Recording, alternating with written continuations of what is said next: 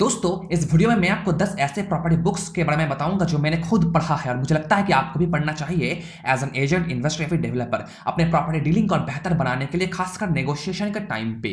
सबसे पहला है गैरी केलर का book the millionaire real estate agent investor नहीं एजेंट ये दो अलग अलग बुक है। आप दोनों को ही पढ़ सकते हो, एक एजेंट के लिए और एक इन्वेस्टर के लिए। एजेंट का जो बुक है, वो आपको बताता है कि कैसे एटीट्यूड बिल्ड करना है लीड कैसे जनरेट करना है और इन्वेस्टमेंट का जो बुक्स है, वो आपको बताता है कि कैसे प्रॉपर्टी ढूंढना है अच्छा प्रॉपर्टी कैसे ढूंढना है, ये बुक आपको सिखाता है। इस बुक के ऊपर मैंने कंप्लीट समरी बना के रखा है। आप चाहो तो देख सकते हो। वो वीडियो मैं आपको नीचे डिस्क्रिप्शन में दे दूँगा, देख लेना। इसके बाद आता है getting to yes negotiating agreement without giving in यहाँ पे तीन मेन चीज़ ऑथर बात करते हैं। वो बोलते हैं कि आप अपने कस्टमर को समझो और वो क्या चाहता है, उस पर फोकस करो। क्या होता है कि नेगोशिएशन के टाइम पे ईगो सामने आता है और ईगो ही आपका नेगोशिएशन बिगाड़ देता है। फॉर एग्ज़ाम्पल आप एक प्रॉपर्टी बेचना चाहते हो, पचास लाख रुपए में। पर वो जो बायर प्रॉपर्टी खरीदना चाहता है, उसे वो फोर्टी लाख रुपए मांग रहा है। आप नेगोशिएट करते हो इधर उधर करते हो, और बीच में आता है फोर्टी एट या फिर फोर्टी फाइव लाख रुपीज़ आ जाता है। पर वहाँ पे दोनों ही अनसेटिस्फाइड हो जाते हो। दोनों तरफ़ से एक फोर्स आता है।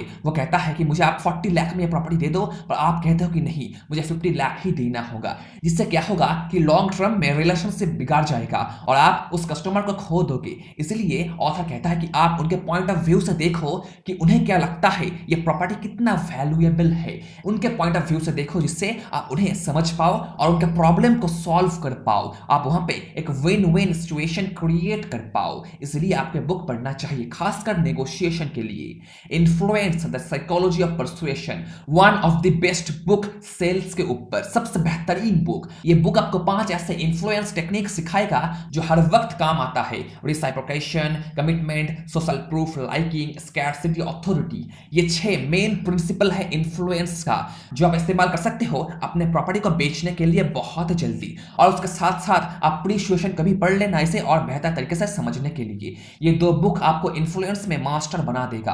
अगर आप इन्हें पढ़ते हो तो मैंने खुद पढ़ा है, बहुत बढ़िया है। आप वाव करने लगोगे अगर आपने पहले पढ़ा नहीं है तो। अगला है sell or be sold by Grant Cardone ये बुक आपको बताएगा टेक्निक्स बहुत सारे यूनिक टेक्निक्स आपको बताएगा, खासकर क्लोजिंग टेक्निक्स की कैसे अपने डील को क्लोज करना है।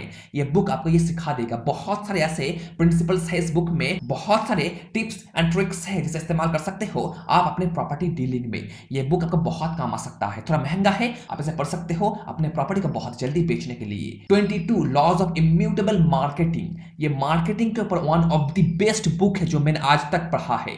ये थोड़ा पुराना है, पर इसका प्रिंसिपल्स आज भी एप्लीकेबल है आज की दुनिया में। आप कुछ भी बेचने जा रहे हो, ये 22 प्रिंसिपल आपका हेल्प कर सकता है उसे जल्दी से जल्दी बेचने के लिए। आप इस बुक को एक बार ज़रूर ट्राई करना। उसके बाद आता है how to win friends and influence people ये बुक आपको सिखा देगा कि कैसे लोग आपका पसंद करेंगे। इस बुक में बहुत सारे एग्जाम्पल्स है। ये बुक आपको हिंदी में भी मिल जाएगा। आप इसे पढ़ लेना। ये बुक कमाल का है। Next up the go giver ये बुक आपको बताता है कि देने से कैसे आपको मिल सकता है। यह बुक आपको बताता है कि कैसे दिल खोल के इंसानों को हेल्प करना है, उनके प्रॉब्लम्स को सॉल्व करना है। यह बुक आपको बताता है। जिससे क्या होगा कि वो चीज़ आपके पास वापस आने लगेगा। फॉर एग्ज़ाम्पल अगर आप बिज़नेस कर रहे हो इंसानों को हेल्प करने के लिए तो वो चीज़ इनडायरेक्टली आपके पास वापस आता रहेगा।